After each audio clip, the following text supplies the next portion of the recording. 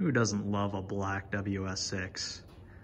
As these cars get older, they start having weird cooling system issues. One of them I'd like to point out because it happens frequently. This is a cold motor, and what happens when coolant gets cold is it contracts, and you'll end up seeing a radiator hose that's collapsed like this. When this when this shows up, what that's telling us is when the radiator cap is trying to siphon from the overflow tank, it's not able to. We can see evidence of this by the coolant hose going down to the overflow tank collapsed as well.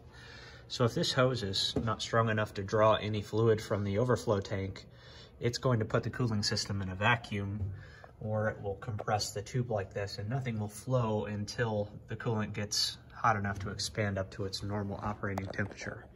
Not something you really want on a car you're going to be out racing. So if this happens, the first thing you want to do is pull off this coolant line, take a look at it. You may have to get all the way down under the battery.